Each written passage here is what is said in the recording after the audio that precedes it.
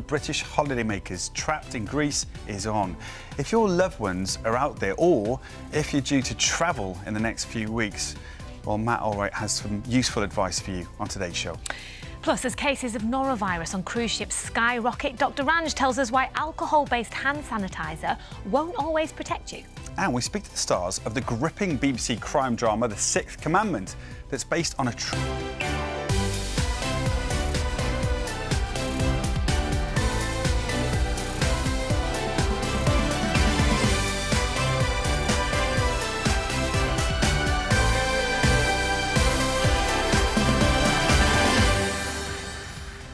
welcome to Morning Live. Good morning from me and Helen. Good morning to Matt Allwright, Dr. Ranj, and Maria's here as well as Strictly Pro for uh, Strictly Fitness a bit later on. Lovely to see you all. Lots to get through this morning.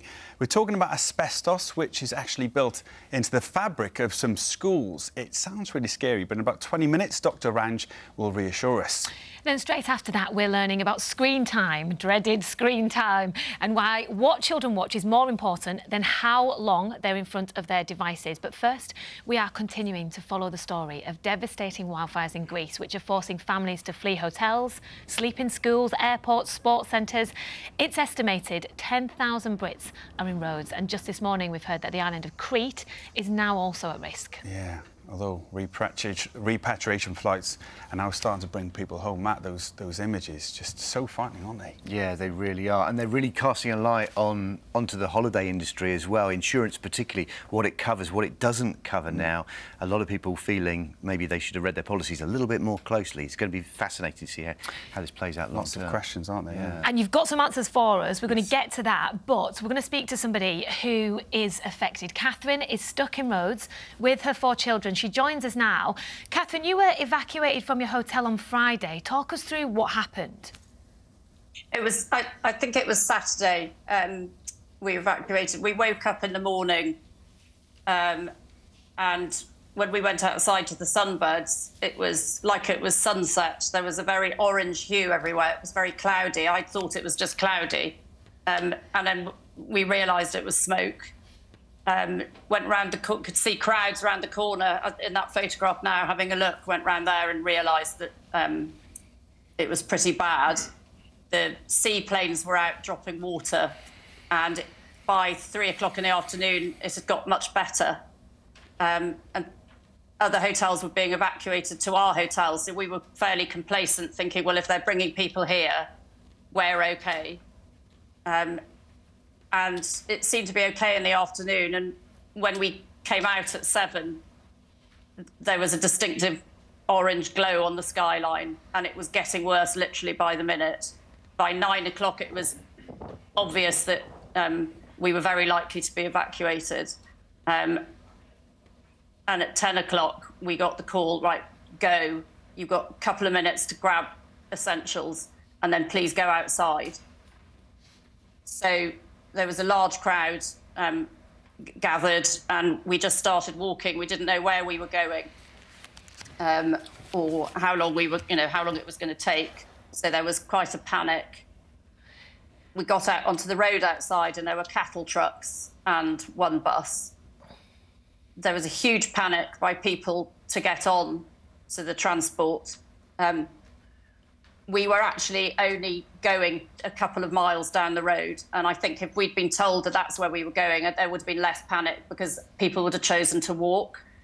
But as it was, nobody knew how far we were going. So oh there was goodness. huge um, melee of people trying to get on on these on these trucks and not be separate, families not being separated.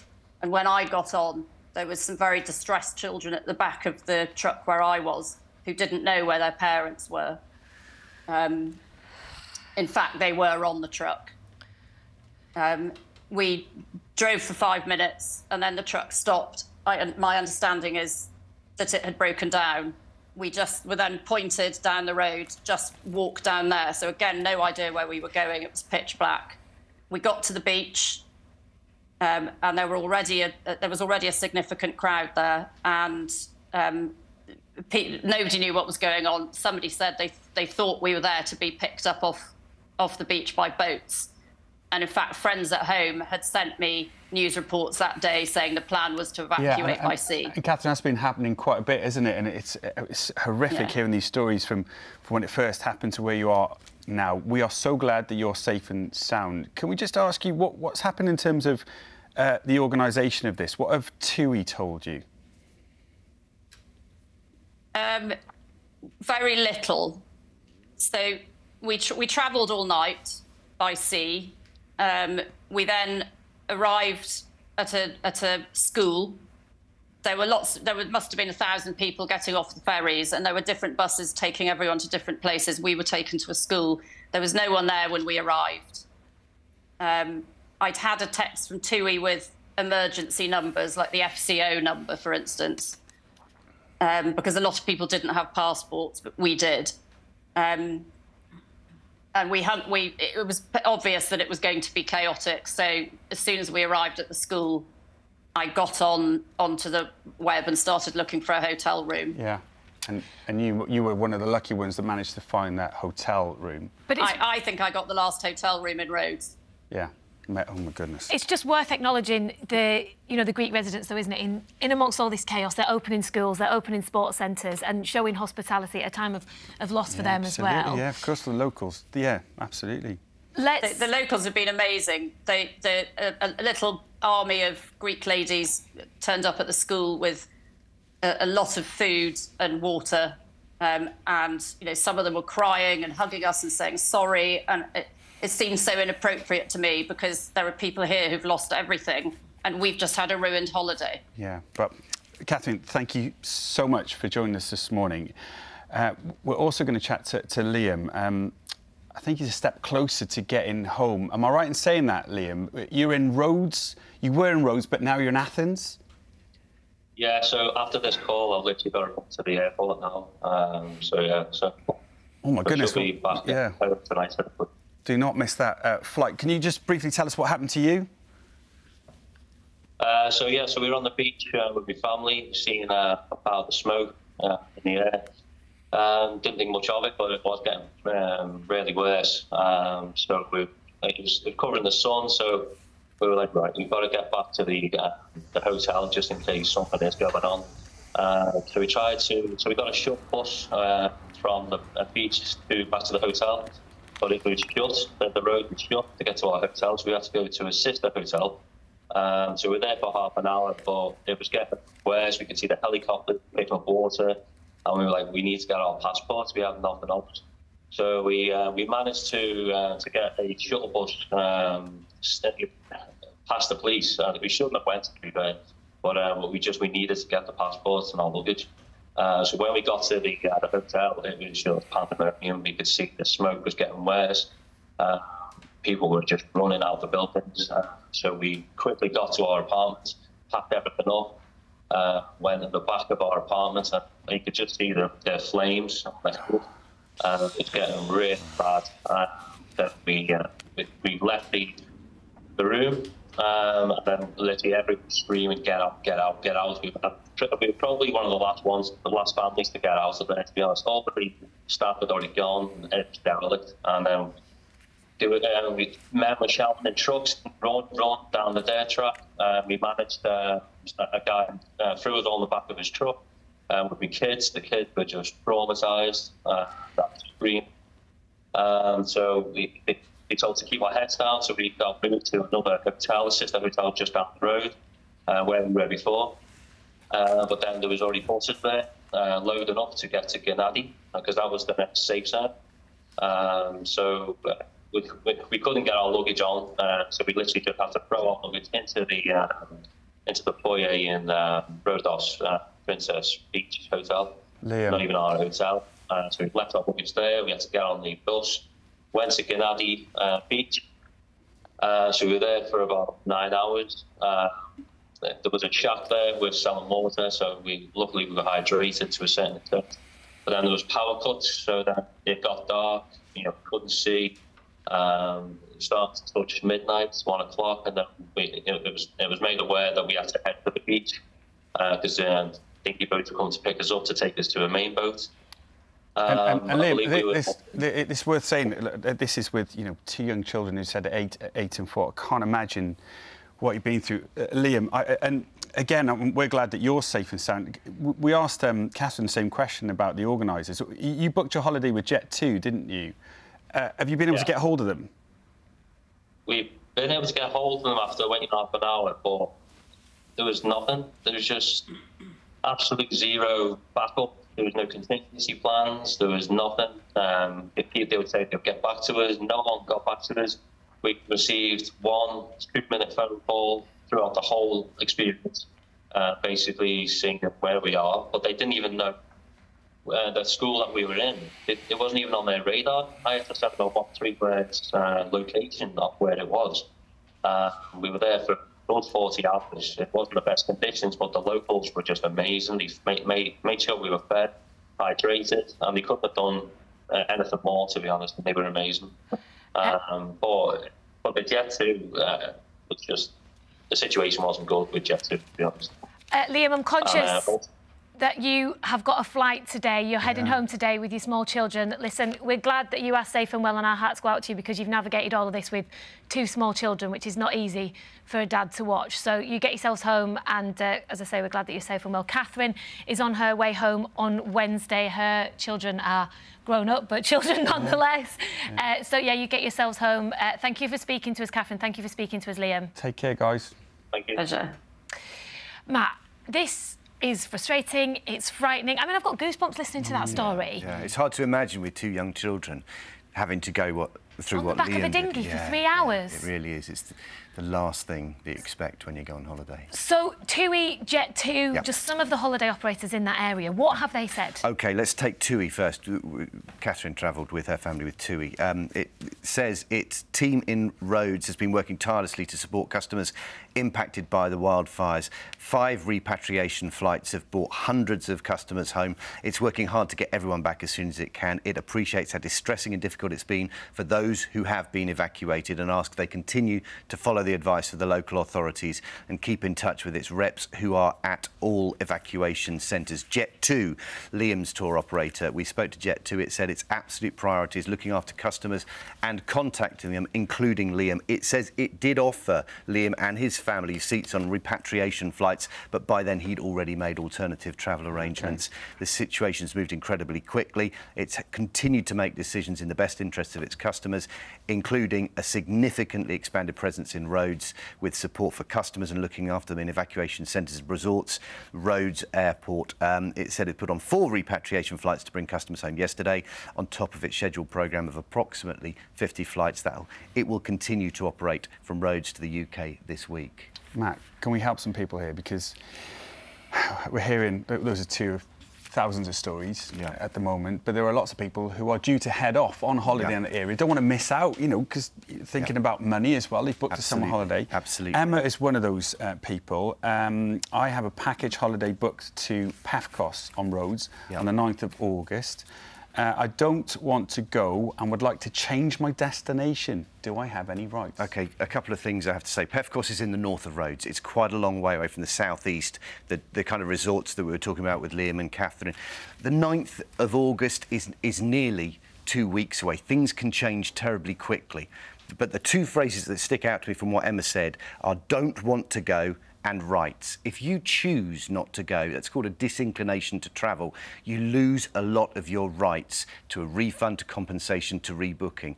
What I would be doing in Emma's case is waiting, keeping in contact with the tour operator, continuing to look at the government's, the Foreign Office uh, and uh, Commonwealth and, and Development offices, um, their website to see how the advice changes over time. Wait if the tour operator cancels, it's going to put a lot more of the ball in her court in terms of rights. So I'd wait, keep in contact with them, and find out how things change. What if you haven't booked a package? What if, like Sarah, you've booked your hotels and your flights separately? Sarah says, I'm supposed to fly out soon. It's not a package holiday. What if my flights are cancelled but my accommodation isn't? Okay, so if you book a package, you're protected by the package travel regulations, and that means if any one part of your holiday goes down, changes significantly, you're allowed a, uh, you get a refund or you can rebook your choice. The the difficult bit is when you do book independently because the hotelier maybe they're waiting for you and say, look, I'm prepared to prepare to provide this service. how you get here is not my concern. And so that does that make things more difficult. Then you're looking at insurers. And we've seen insurance change quite a deal, really, mm-hmm. in the past few years, because insurers now say my, their primary role is to bring you home in, in an, a, a medical emergency. Some of the insurers don't cover things like natural disasters. You might have to look for insurance that specifically covers it or an add-on. That's what we're seeing a lot of. Yeah, it can be. And you know, this is not the last time we're going to be seeing incidents like this, and it's really worth considering carefully where you're going, the risk that you're putting yourself at and you know if that makes sense for you as a product that could protect you if things do go wrong like this but everybody that's out there we wish you the very best getting back and, and hope things, you know, quickly resolve themselves. And as Catherine and Liam said, they're just, you know, hats off to people who live yeah. there who yeah. are just showing unbelievable generosity at yeah. a very difficult time. Absolutely. On top of this travel chaos, shockingly, we've seen that fraudsters are already trying to cash in on the emergency by setting up fake airline accounts on social media and offering help uh, to tourists. Uh, if you've received any messages and are worried that they're scams, well, please get in touch. Rav's going to be with us on Morning Live on Thursday to help with that. Now, we're talking about a topic closer to home now. Ranj has been looking into the harmful impact of the material asbestos, which has been built into the fabric of the UK schools. Yeah, for decades it was used in construction, and although it's been banned for years, thousands of people are still dying from cancer after being exposed to it.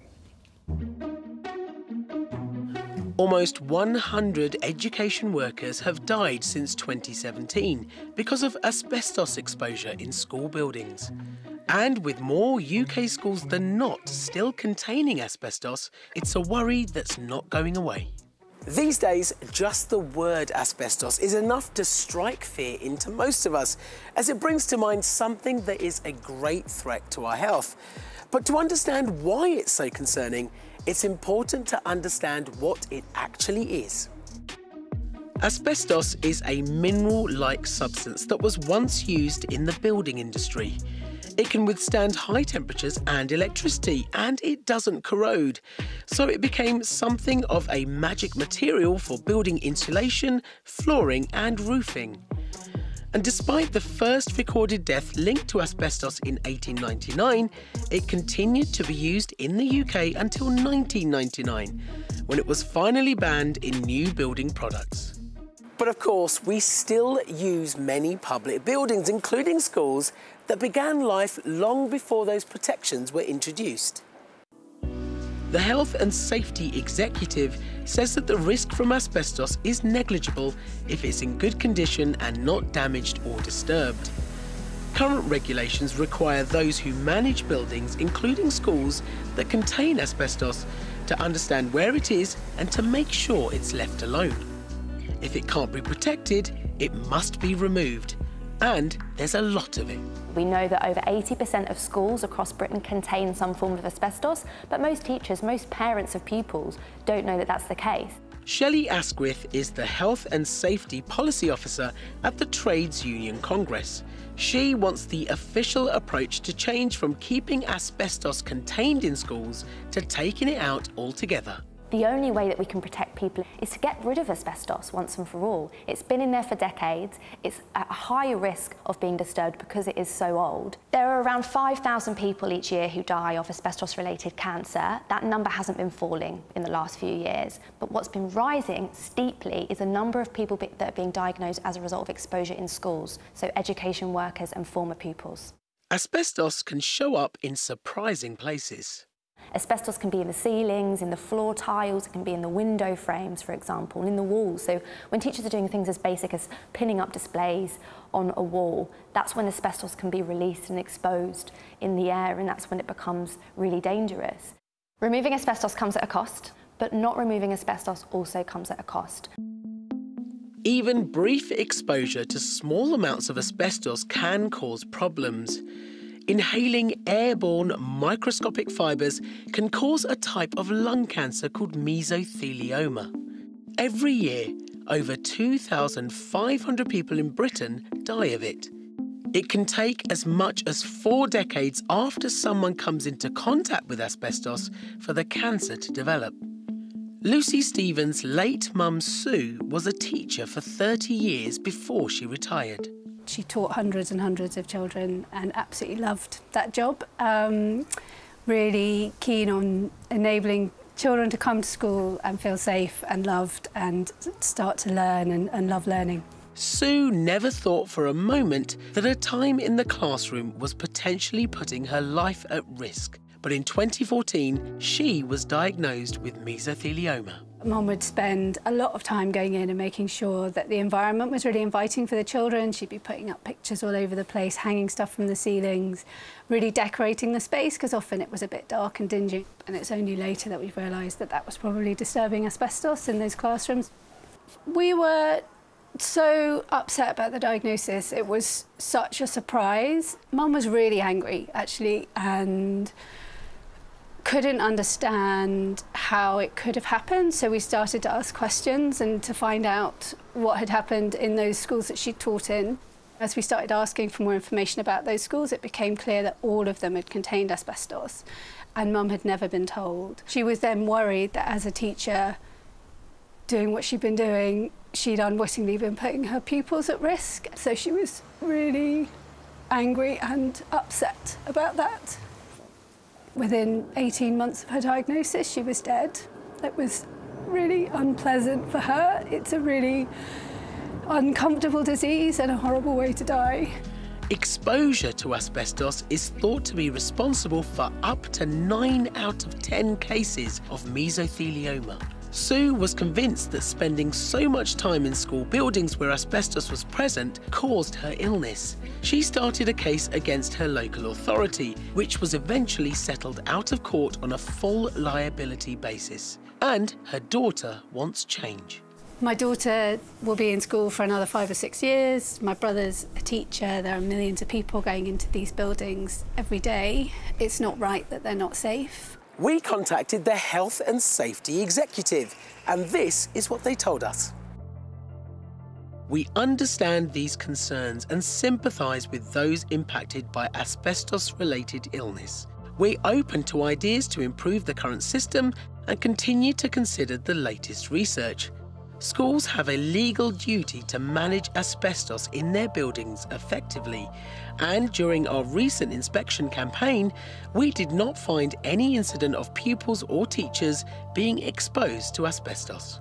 It's reassuring to hear the HSE found no incidents of exposure. But Professor Kevin Bampton, CEO of the British Occupational Hygiene Society, thinks there's more to be done. The chances of you getting ill as a student at school are very, very slight indeed, but, but I liken it to a minefield. If you know that asbestos is there and it's managed, and you avoid it, then there's no danger. But like a minefield, if you don't know it's there and you wander into it, the risk and the danger can be really very significant. There has never been a better time to replace asbestos in schools as we try and make them healthier, more fit for purpose and more environmentally friendly. Now's the time we can really act and make a difference. Surprisingly, schools aren't obliged to let parents know whether asbestos is present on the premises. But Kevin says that if you are worried, it's a conversation worth having. My kids go to a school which has got a big asbestos pro problem and they've basically locked up one of the buildings and it does worry me. There are more risks, I think, still with, with getting the kids to school from traffic, etc. Um, this is just one of those risks that you know that if it was managed properly, could just disappear completely. And that's what I'd like to see.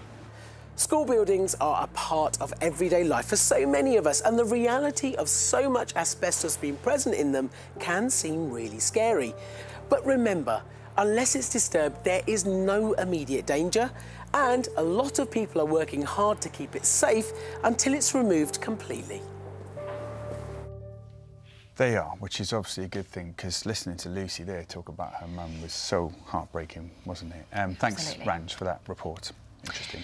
Now, we did contact the Department of Education. It said responsibility for keeping build buildings safe and well maintained lies with responsible bodies such as academy trusts, local authorities, who it provides guidance to so they can manage asbestos thoroughly. The health and safety of its pupils and teachers is so important, which is why it's allocated over £15 billion since 2015 to support this work, including £1.8 billion committed for 2023 to 2024, and it's transforming 500 schools through the school rebuilding programme, they said. Well, for most children, school is now out for the summer, and uh, I'm sure there'll be a lot of uh, discussions between parents and grandparents about how to keep them entertained. Discussions, Discussions yeah. heated debates, right you might say. a new BBC Children's and Education programme suggests that screen time might not be too bad after all. Dr. Amanda Gummer is a child development expert who's advised on the campaign. She's with us now. This is a hot topic. It lit up the office. Should you, could you, would you, can you? Is it all right for children to have screen time? And we're discovering that it's not how long they watch, but it's what they watch, isn't it? Yeah, pretty much. I think, you know, we all know that screen time's here to stay. We can't put that genie back in the bottle. But for us, it's about balance. So giving kids that balanced play diet. In the same way that you balance their what they eat, you want to balance what they're doing in their leisure time. So get them down the parks and the playgrounds, get them running around with their friends. And then when they are watching TV, if they've had all of that exercise and the, the good stuff, you can you can relax a bit with the TV, but really making sure that you know what they're watching and that what they're watching is good for them. Mm. And then campaign has quite a clear image of what maybe a balanced play diet looks like. Yeah, so um, something that we've developed, and it's a, a model in the, very similar to um, the, the five a day kind of campaigns and it's it's about social imaginative active child-led free play. So getting the kids down the park with their mates playing pirates and, and imaginative stuff. That's the that's the broccoli if you like of the of the play diet. If your kids want more of that give it to them. If they're hungry and they've got time let them do that the solitary sedentary passive stuff is the sweets and the treats so that's the bit you want to limit but screen time can can have a place in all of that so getting kids out and about with things like Pokemon Go is fine, but equally making sure that they're watching educational content on TV. And the research showed that over 93% of parents felt that screens were a good source of educational content, so, you know, great. And as part of that balanced play diet, screens have a really important role to play. So, yeah, it is what they're watching on screens and how they're doing it rather than you know how long they're actually spending. I remember my dad always saying, you know, get out, get outside, get outside and play. So, but so it's not about just limiting screen time uh, altogether. There's there's still a little bit of the balance, as you say, between one and the two. It's like you can have screen time as long as you're outside as well. Yeah, and set boundaries with your kids and, and make sure you've got that sort of agreement about what they're able to do and when. But yeah, absolutely, get get kids outside. Enjoy the summer holidays, but don't demonise the screen. Dad, was, my dad was right. My dad was right. Get but outside. It's, but it's the demonising. Like parents, true, guardians, yeah. grandparents up and down the country going, yes, Amanda, it's okay when it's appropriate. You've got some tips because, as you said, screen time isn't going anywhere. Let's not make people feel guilty for using screens. Your first top tip is quality content, isn't it? Yeah, absolutely. And making sure you know what your kids are watching and that it's age appropriate and good for them. There's lots of really great content, especially on the BBC, obviously. Um, but I think it, things like Yakka Dee and um, Love Monster that teaches kids you know, de developed by experts with, with kids' development in mind, but also teaches kids some really important skills. So Love Monster's is great for that emotional development and teaching kids about their feelings. Um, and there's lots of stuff, you know, Bluey and all the, you know, there's some really great content out there. Once you watch Yakka Dee, you can't unwatch it. Yakka Dee, Yakka Dee. It's in my head now, thank you. Yeah. Um, let's talk about routine setting because that's another tip, isn't it? Yeah, absolutely. So figure out where screen time fits into your day. You don't want kids on screens 24/7, absolutely not, and it shouldn't interfere with meal times and sleep times. So build it into your into your daily routine and talk to the kids about when it works. So if at the weekend you want an extra half an hour in bed and they're allowed to go downstairs and put the telly on and watch a bit of something that, that you know, see CBeebies or something, then great. Then but then you know make sure that there's an agreement maybe they have to do jobs before they're allowed to, to go back on the tv or maybe they they have to have gone and played with a friend or outside or you know helped mm. helped around the house there, there, can be negotiation yeah and, and scheduling the, the appropriate content at the, the appropriate time so something calming and relaxing before bed you know for half an hour absolutely fine and it helps it, it helps part of that daily routine and, and it helps kids have that framework to the summer holidays which can be a bit chaotic yeah. Yeah. your third tip representation yeah, so we're seeing so much innovation in this space, and it's really great for kids to be able to see um, themselves onto screen and people and characters that, and situations that they can relate to. So programs like Jojo Gran Gran, um, you know, it's, it's great to be able to give kids a wide um, choice of, of programs and content and characters so that they can see themselves. And they if they relate to the content they're much more likely to get the benefits of the educational content that comes through it. Mm. amanda thank you so much. I think it's one of the things that stresses parents out the most. How mm. much is the right amount and when to do it? So thank you so much amanda. It's loads of useful advice on the website as well CBeebies which we've put on the morning live website as well which you can have a look at right now Thank you. Now, when it comes to adult screen time, one thing us grown-ups might want to watch is a gripping new BBC drama, The Sixth Commandment. The four-part series set in a small village in Buckinghamshire focuses on the true story of a man who befriends local residents with devastating consequences. It is stressful, isn't it? It makes you shiver. It does like, make you shiver. Ugh. It does. We're joined by Annabel Scholey, and, uh, who plays Anne-Marie Blake, and uh, Éanna Hardwicke, who plays the sinister quite creepy, if I may say so, Ben Field. Uh, thanks both for joining us. Uh, I'm already scared of, of, of you, um, uh, Éanna, you, just because I'm so used to being on the screen. Are you a, a, nice man? Can you just say you're a nice man before we carry on? Éanna? I am hopefully a well-reared and nice man. OK, um, good. It's, it's the, the, do you know what I mean? Like you're not sure until you say hello, are you? It's because you're good at what relax. you do. um, it's quite Annabel. It's quite a story. It's a true story. Can you try and outline what happens? Yes, of course. So this is a four-part drama based on the true story, um, uh, set in a very unassuming, lovely community called Maids Moreton and it follows the story of Peter Farquhar and Ann Moore-Martin, who were both very upstanding, integral uh, members of that community, well loved. Um, and they were uh, preyed on by a young man called Ben Field, who ingratiated himself into that community via the church. Um, systematically went went through both of them and manipulated them uh, using uh, drugs at one point. Um, I guess both of their stories and their families, and then the aftermath after they both died, um, how the police investigated Ben Field and then brought him to justice. Uh, so the court, episode four, is a lot of the court case um, and how the families coped in the aftermath of the tragedies. Which is tonight. That's tonight's episode, yeah. Tonight. Let's talk about what it's like to play the character of Ben Field, because he's not a character, is he? He's a he's a real person who affected real families, and you want to get into the the mindset of him, but uh, you know you don't want to stay in the mindset. What's it like to do that as an actor?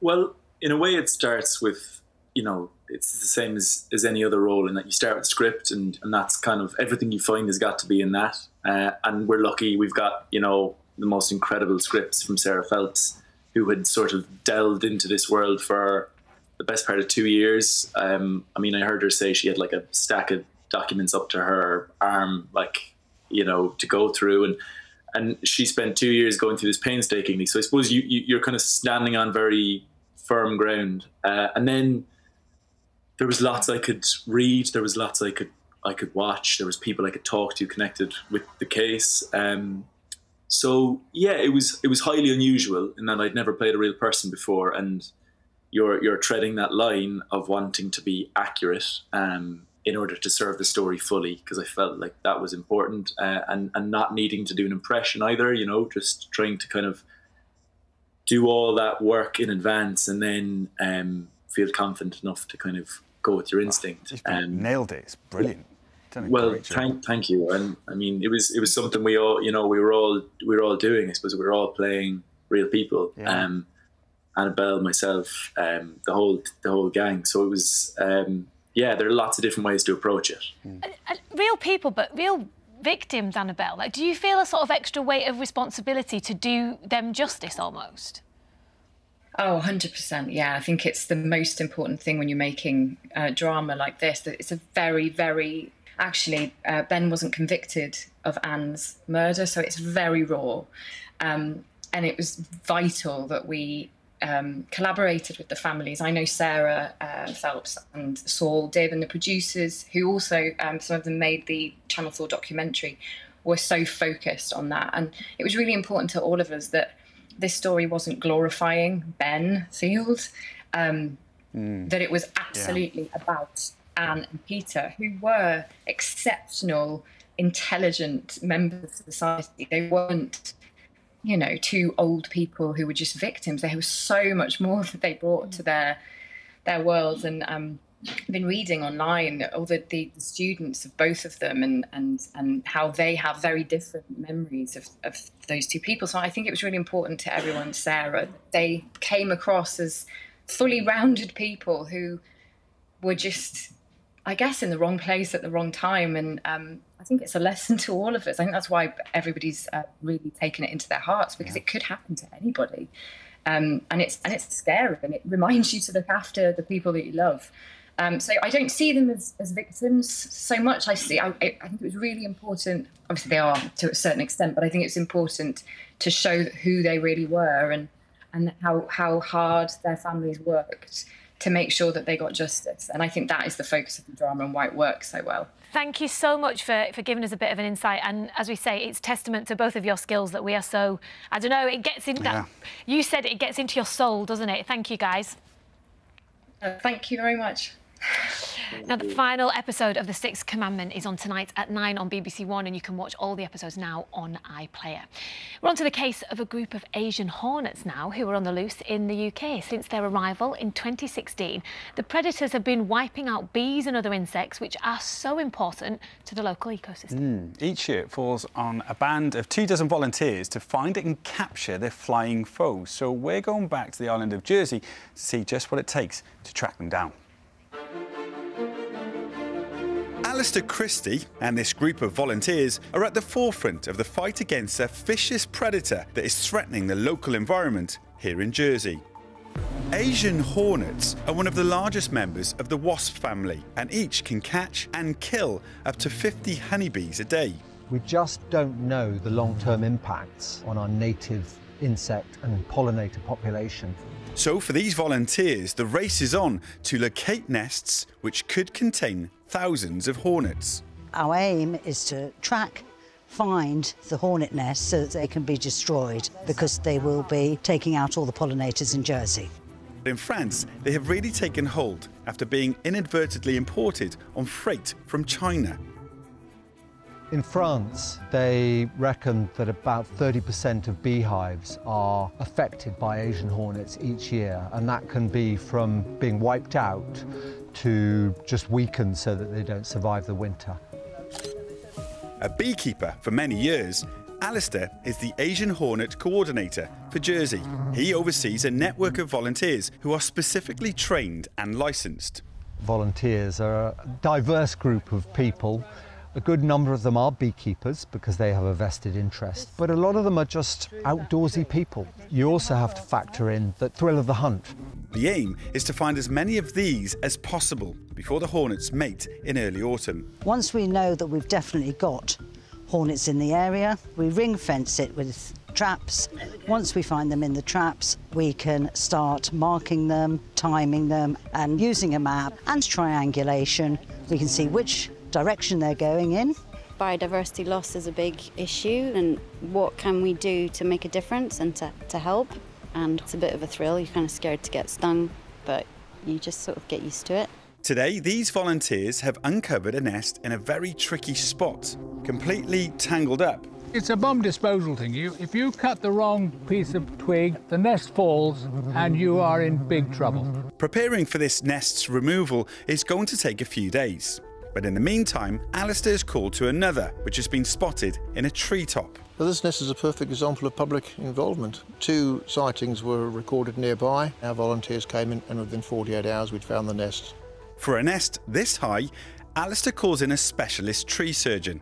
I reckon it's probably the second biggest this year. Yeah. A bit bigger than a football. In a nest of that sort of size, there may be up to about a thousand hornets. This probably has been the hardest one. It's just climbing up to it, really. It's part of doing the job, I guess, so you've got to willing to take the risks. The only time that I've actually got scared was when I got stung. It did hurt. Matt climbs up as close as he can before injecting the nest with an approved pesticide. The next day, he retrieves the nest to be analysed and disposed of safely. This nest has been formed so recently, this will all be eggs. very well done in retrieving this. We know if we stop doing what we're doing, then hornet numbers will accelerate in Jersey and then we will be seeing the impacts on our ecology, our economies and to people as well. We won't be able to get back from that. definitely need to look after those honeybees for sure. Uh, Matt, as you can imagine, after chatting to Catherine and Liam at the top of the show, who are stuck at the moment in Greece, we've had lots of reaction, haven't we, this morning? Yeah, absolutely. One thing we need to clear up as well, within the island of Rhodes, there are numerous, there are a number of places called Pefkos. One of those, yes, is in the southeast. Oh, that was Emma that, yeah. Absolutely. Yeah. So it just goes to underline, before you go to Rhodes, before you go to Greece, just check exactly where you're going with your provider. And very important, if you are struggling to get through to your provider, just keep going, keep persisting. They will be there and they will be able to advise you. That's your first port of call. And Thank you, Matt. As we said yesterday, stick with us and keep your eye on the BBC News for the, as it develops and as things change over the next few days. Now, though, it is time for Strictly Fitness with Maria. So, cue the music. Maria, Maria. Good morning. Are we ready for Strictly? Oh, yes. Now, the theme this week is Girl Power in honour of the Women's World Cup. Yes. What moves have you got for us today, Maria? So we're going to pick up the energy today with a sizzling salsa step from uh, Alexandra and Gorka's salsa routine. And that is the move that we're going to do right there. We can't father. see, we can't see Gorka. Gorka without saying congratulations yeah. on little Thiago. Thiago, welcome to the world. All right, warm us up then. What are we doing first? So before we start, we're going to start with our first warm-up move, which is going to be arm up to the air and lift the opposite knee. Beautiful. We're to do this to the opposite side four times. Beautiful. So it's like a little bit of a marching step. Our second one is our wood chop. So I want you to make two fists, bring them together, and we're to go diagonal and down. Beautiful. and we're gonna do this twice and then we're gonna do it to the other side. So we're gonna go diagonal to the left and then down one more good for the golf swing that one. And for our strictly move we're going to stretch the arms out and point the foot. Beautiful. One to the other side and then we're going to do a star. Beautiful. Okay. Take it away alan. With a mid-body work